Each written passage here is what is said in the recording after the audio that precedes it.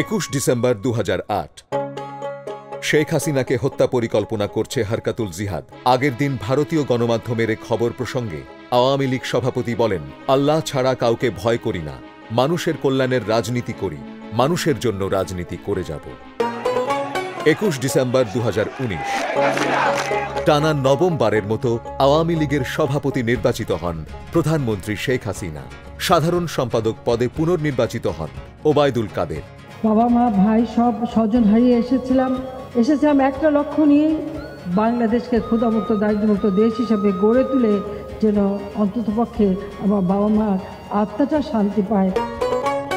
একুশ ডিসেম্বর দু হাজার বিশ। করোনায় বিশ্বজুড়ে মৃত্যুর মিছিল।